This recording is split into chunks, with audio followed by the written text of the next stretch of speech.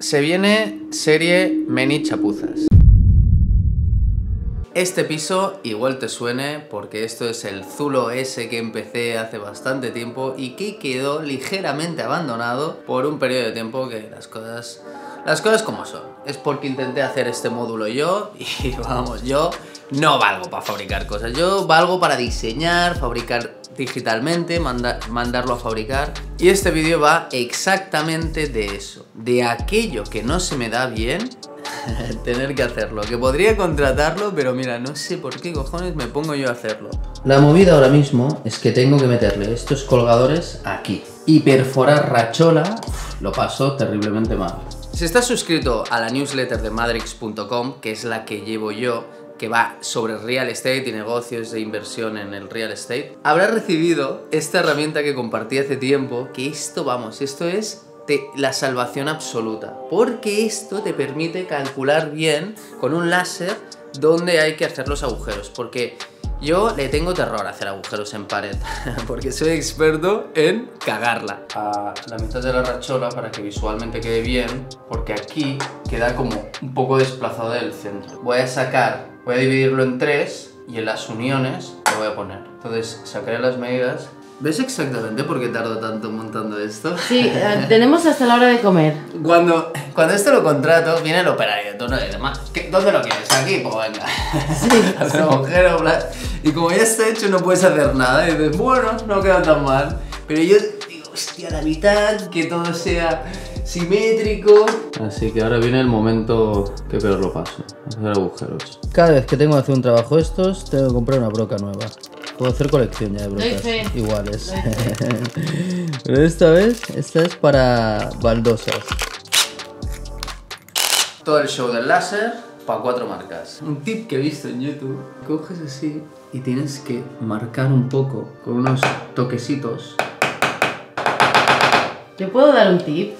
Los vecinos están diciendo, qué bien, un domingo así, despertar así. Yo voy a dar un tip. Si eres una persona como Hugo, que es extremadamente perfeccionista, no te sale a cuenta hacerlo tú. Exacto. ¿Vale? Te lo digo porque una cosa que se hace en media hora, 15 minutos, Hugo la hace igual en 4 horas perfecta, pero en 4 horas. Habría que ver cómo lo hace el que lo hace en 10 minutos. Bueno, ¿eh? pues normal tirando a... a torcido. De, de, de, los que lo hacen en 10 minutos estoy un poco cansado ya. Aquí ya queda marcado.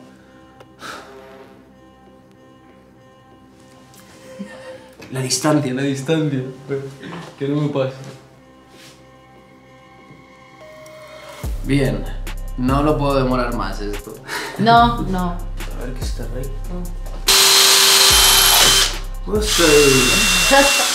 Ojito, ni tan mal, ¿eh? Vamos a por el siguiente agujero.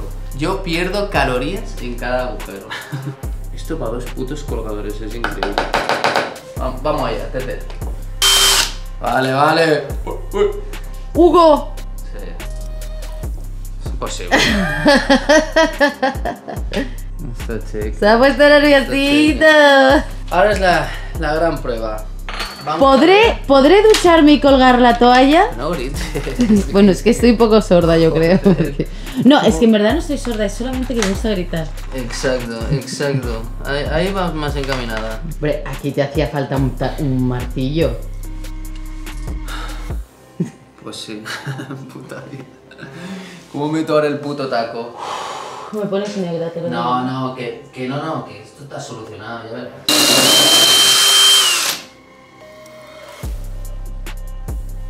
Esa mira Está bien, está bien. Porque he metido. He metido. No, no he metido la puntita solo. Hugo. ¿La puntita? Pues precisamente lo, lo que mide la rachola. Ojo la técnica del maestro. Cuando no tienes. Cuando no tienes martillo. Joder, es que cuánto show para meter un puto taco. ¡Qué mierda! Además queda torcido y chafado. Mira, qué absoluta mierda. ¿Esto qué es? Aquí que pone 5 de diámetro, ¿no? Pues yo que compro 5. Plan B. Ahora en principio esto debería entrar solo. Y después unos golpecitos. esto ya está dentro. Y ya puedo colgar el primer colgador. Con suerte, hoy acabo un colgador. Esto, eh, ninguna gracia me hace esto, solo te digo. Vamos a ver, vamos a ver. Ahora. Ahora que gira. Uy, empezamos. Bueno, bueno, bueno, un puto colgador. La cosa más simple que hay. Vamos a hacer el gran test. ¡Wala! ¡Qué perfección! ¡Qué perfección! Ha merecido la pena. Todas las Pues, eh, herramientas. pero si te queda. Le, to- mira, todos los le queda eh, lo de ponerlo del. Bueno, Pero apriétalo más, que me da cosa. ya está apretado, pero ¿qué más quieres que lo apriete? Está perfecto. Mira. No, ¿para qué haces? Y así ha quedado. Ni tan mal.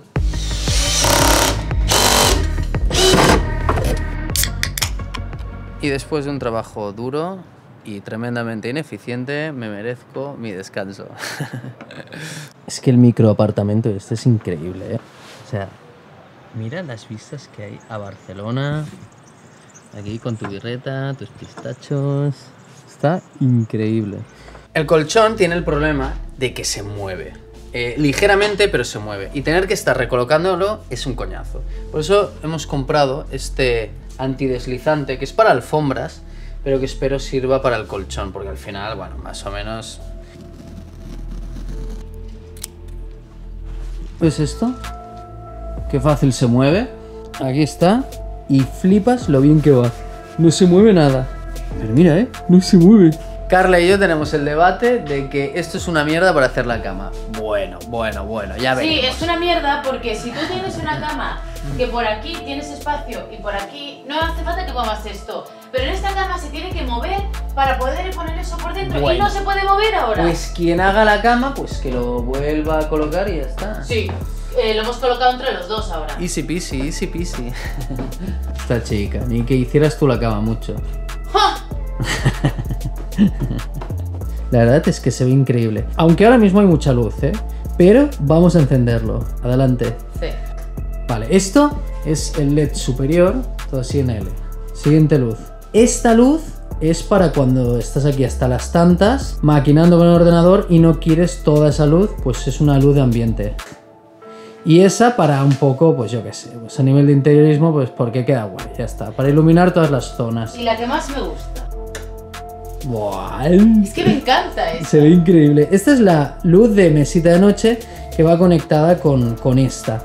Aquí la idea es meter alguna movida aquí para tú dejar las llaves. Un poco esto es el aparador donde dejar tos- todas tus cosas, todas tus mierdas así básicas, pues aquí. Ya en Andorra y me disponía a hacer más chapuzas. La idea es que si este es el mueble para salir a la terraza, el problema está en que como está pintado es muy posible que al pisarlo pues se joda, ¿no? Entonces quería ponerle como una especie de protección, pero no quiero meter una alfombra, algo que quede así como cutre. Entonces había pensado en cortar una madera y ponerla ahí. Y la madera iba a ser esta. Esto que es tablero de roble, que está bastante guay. Pero por suerte para mí y mala para ti, que estás viendo este vídeo esperando a que haga una puta mierda, se me ha ocurrido que mejor pondré corcho, que es la solución más rápida, estética y creo que es la más práctica.